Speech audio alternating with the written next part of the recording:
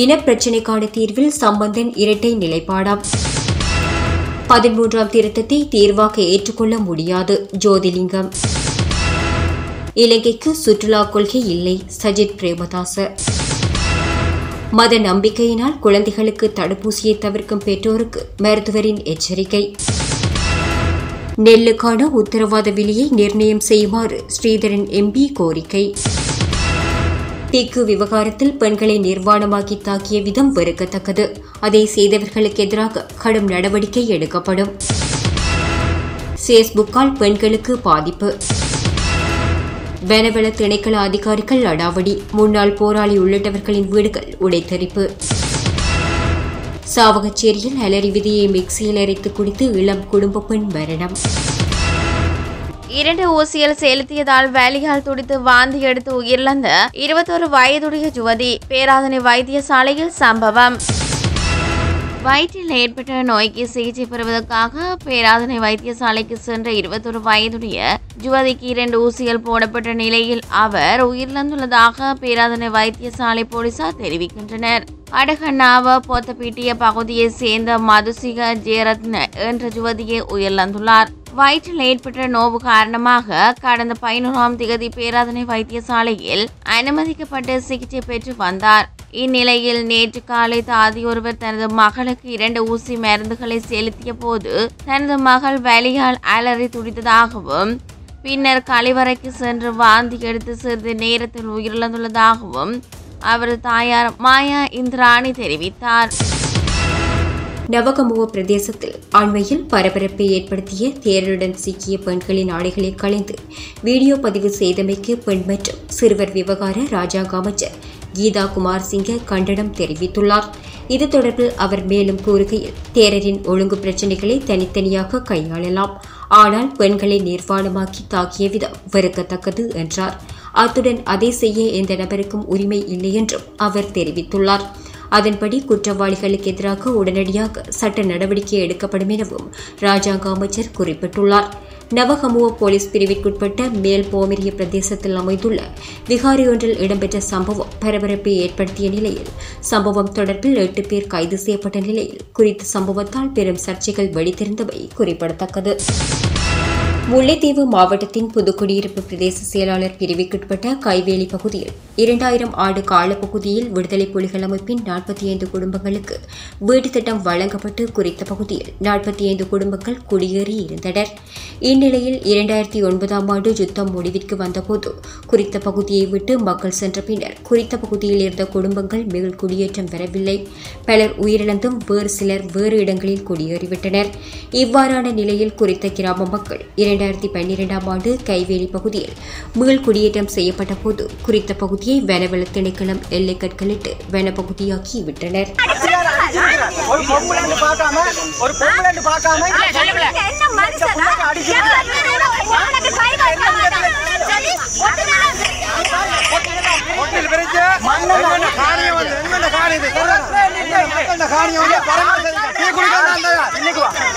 கிணறு இருக்கு எட்டு கிணறு இருக்கு இந்த வீட்டு திட்டம். இந்த வீட்டு திட்டத்துக்குள்ள கட்டிடம் இருக்கு எல்லா ஆவணமும் இருக்கு.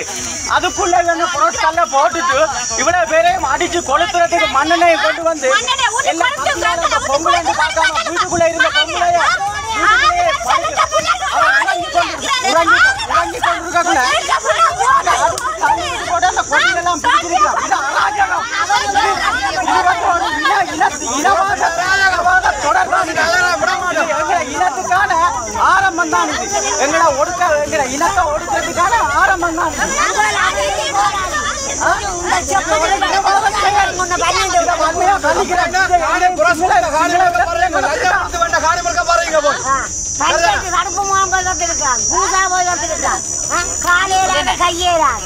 தம்பி தம்பி இங்க வா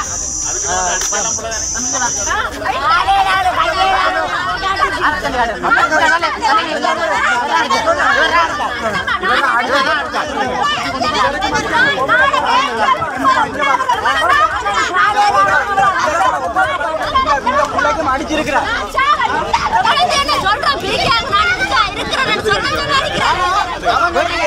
பாச விளங்குது இல்லையா நாங்க கதைக்கிற பாச விளங்குது பாச விடாம தான் நான் வந்து இதுல பிடிச்சேன்.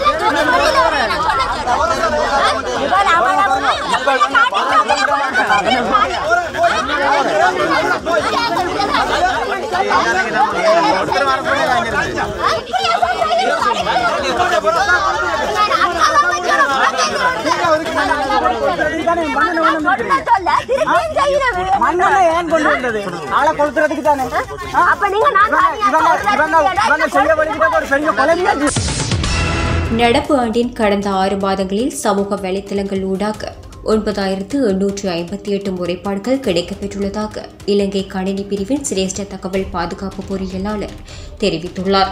புகார் அளித்துள்ளவர்களில் பெரும்பாலானோர் பெண்கள் எனவும் அவர் குறிப்பிட்டுள்ளார்.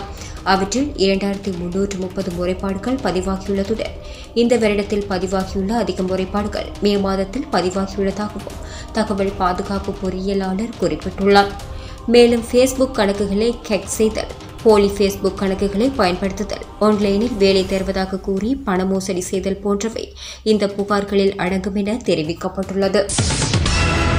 சாவகச்சேரி மரவன் புலவு பகுதியில் இளம் குடும்ப பெண்ணொருவர் உயிரை மாய்த்துள்ளார் மினேஷ் சங்கீதா என்ற இளம் குடும்ப பெண்ணே இன்று மாலை தனது வீட்டில் உயிரை மாய்த்துள்ளார். குடும்ப தகராறை அடுத்து அலரி விதியை மிக்சியில் அரைத்து குடித்து உயிரை மாய்த்துள்ளார். சடலம் தற்போது சாவகச்சேரி ஆதார் வைத்தியசாலையில் வைக்கப்பட்டுள்ளது. வடக்கு மாகாணத்தில் அதிக நெல் உற்பத்தி மேற்கொள்ளப்படும் விவசாய மாவட்டமான கிளிநொச்சியில் நெல் சந்தைப்படுத்தல் சபையின் ஆளுகையில் ஏழு நெற்களஞ்சியங்கள் உள்ளபோதும் உரிய நிதி ஒதுக்கீடு மேற்கொள்ளப்படாத காரணத்தால் நெல் சந்தைப்படுத்தல் சபையினரால் எமது மாவட்ட விவசாயிகளிடமிருந்து நெல்லை முழுமையாக கொள்வனவு செய்ய முடியவில்லை. இதனால் தென்பகுதியிலிருந்தும் ஏனைய பகுதியிலிருந்தும் வருகை தரும் நெல் கொள்வனவாளர்கள் இடைத்தரகர்கள் என்போர் தமது சுயலாபம் கருதி நிர்ணயிக்கின்ற மிக குறைந்த விலைக்கு நெல்லை விற்பனை செய்ய வேண்டியுள்ளதால் நெற்செய்கையை மட்டுமே நம்பியுள்ள ஆயிரக்கணக்கான விவசாயிகளும் அவர்களது குடும்பங்களும் அந்தரித்து நிற்கின்றனர் என நாடாளுமன்ற உறுப்பினர் சிவஞானம் ஸ்ரீதரன் சுட்டிக்காட்டியுள்ளார். இலங்கையில் தேசிய சுற்றுலா கொள்கையொன்று இல்லாதது பாரியதொரு பிரச்சினை என எதிர்க்கட்சித் தலைவர் சஜித் பிரேமதாச தெரிவித்தார். தம்புளி பிரதேச சுற்றுலாத்துறையுடன் தொடர்பான பிரதிநிதிகளை எதிர்க்கட்சித் தலைவர் அலுவலகத்தில் நேற்று சந்தித்தபோது எதிர்க்கட்சித் தலைவர் மேற்கண்டவாறு தெரிவித்தார். இதன்போது மேலும் தெரிவித்த அவர் சுற்றுலாத்துறைக்கு நியமிக்கப்படும் அமைச்சரினதும் மாறி மாறி நியமனமாகும் அமைச்சர்களது ஒரு சில பிரபலங்களுக்கும் அடிமைப்பட்ட துறையாக இது இருந்து வருகிறது. இதில் ஈடுபடும் சிறிய மற்றும் நடுத்தர தொழில் முனைவோரை மறந்து சிறியதொரு பலமிக்க குழுவினரை கோலோற்றும் வேலைத்திட்டம் நடைமுறைப்படுத்தப்பட்டு வருகிறது என அவர் தெரிவித்தார். மத நம்பிக்கை காரணமாக குழந்தைகளுக்கு தட்டம்மை தடுப்பூசி போடுவதை சிலர் தவிர்ப்பதால் அம்மை நோய் மீண்டும் பரவும் அபாயம் ஏற்பட்டுள்ளதாக மருத்துவர்கள் சுட்டிக்காட்டுகின்றனர். வெற்றிகரமான தடுப்பூசி திட்டத்திற்கு பிறகு இரண்டாயிரத்தி பத்தொன்பதாம் ஆண்டு நாட்டிலிருந்து தட்டம்மை நோய் இல்லாதொழிக்கப்பட்டது. அதன்படி தெற்காசியாவில் தட்டம்மை நோயை இல்லாதொழித்த ஐந்து நாடுகளில் ஒன்றாக இலங்கை காணப்படுகிறது.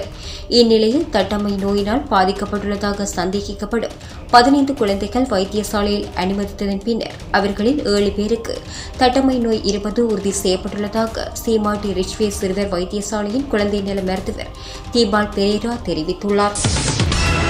பதிமூன்றாம் திருத்தத்தினை தீர்வாக ஏற்றுக்கொள்ள முடியாது என அரசியல் ஆய்வாளரும் சட்டத்தரணியுமான ஜோதிலிங்கம் தெரிவித்தார். யாழ்ப்பாணத்தில் இன்று இடம்பெற்ற ஊடக சந்திப்பின் போது அவர் இதனை குறிப்பிட்டார். மேலும் கருத்து தெரிவித்த அவர் பதிமூன்றாம் திருத்த சட்டத்தை நடைமுறைப்படுத்துவது தொடர்பான பேச்சுக்கள் தற்போது இடம்பெற்று வருகிறது. பதிமூன்றாம் திருத்த சட்டம் என்பது ஒரு அரசியல் தீர்வு அல்ல. தற்போதுள்ள அரசியல் கட்சிகளை சேர்த்தோர் தம்மால் இயலாத நிலையிலேயே பதிமூன்றாம் திருத்த சட்டத்தை நடைமுறைப்படுத்த வேண்டும் என்கின்ற நிலைக்கு வந்துள்ளார்கள். ஆனால் பதிமூன்றாம் திருத்த சட்டம் என்பது இந்தியாவும் இலங்கையும் எடுத்துக்கொண்டு தீர்வே தவிர அது தமிழ் மக்களுக்கான தீர்வு அல்ல. எனவே பதிமூன்றாம் திருத்த சட்டம் ஒருபோதும் தமிழ் மக்களுக்கான தீர்வாக அமையாது என குறிப்பிட்டார்.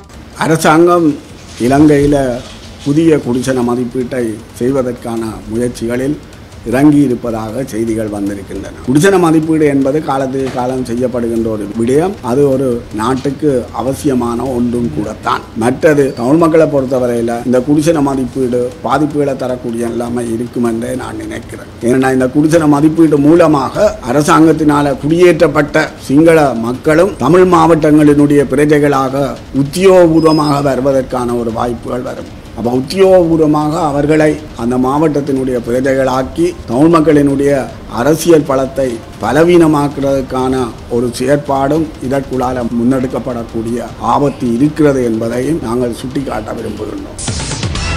இலங்கையில் தமிழ் மக்களின் இனப்பிரச்சினைக்கான தீர்வாக்க பதிமூன்றாவது அரசியலமைப்பு திருத்தத்தை முழுமையாக நடைமுறைப்படுத்தும் விடயத்தில் ரா சம்பந்தன் இரட்டை நிலைப்பாட்டுடன் உள்ளதாக ஜனநாயக தமிழ் தேசிய கூட்டமைப்பை பிரதிநிதித்துவப்படுத்தும் புளோட்டின் தலைவர் தர்மலிங்கம் சித்தார்த்தன் குற்றம் சாட்டியுள்ளார்.